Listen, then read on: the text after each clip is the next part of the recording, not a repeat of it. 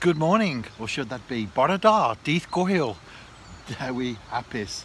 Happy St David's Day, March the 1st. I was up bright and early this morning, as I usually am when I'm off for an early morning session. And it's icy, as you can see from the image on the car. And I took advantage of that, and that will appear on the New Saints social media accounts later on today. I'm on the canal now. I've cast out, waiting for the first bite. Obviously it's slow with the conditions, but while I wait, a cup of tea.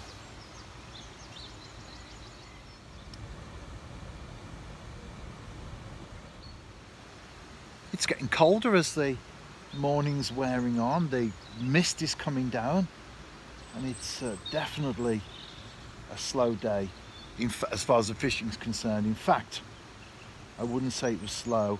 I would say it was stationary. I came here confident enough, which you always do when you fish, don't you? Even when the conditions are difficult, you still have that belief and confidence that you will catch something. I've been here over an hour and nothing at all.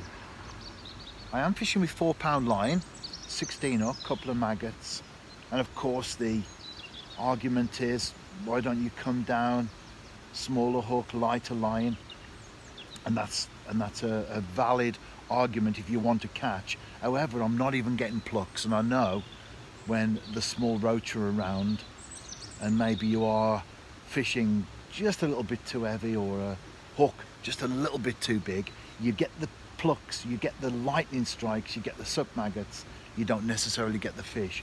I'm not even getting that this morning, so nothing at all, not even a, a soaked maggot. However, by fishing the four pound line and the, the couple of maggots on a size 16 hook, I'm setting my stall out and I have been catching some reasonable perch lately. They've certainly been coming on the feed and that's been my target this morning.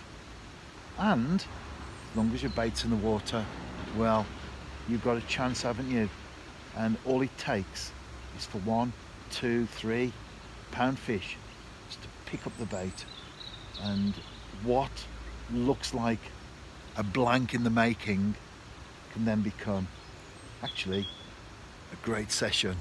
It's all about that one fish sometimes. Obviously that one fish might not come. You have to be realistic as well. However, as we all know, as anglers, that's fishing, isn't it? Especially if you're the type of angler like me, you fish all year round and whatever the conditions are, you get out there anyway. I had a couple of hours this morning well, at least I've got my first blank of March out the way. I tend to divide my angling year into seasons as per the months. So March, April, May would be spring as far as my own personal fishing is concerned.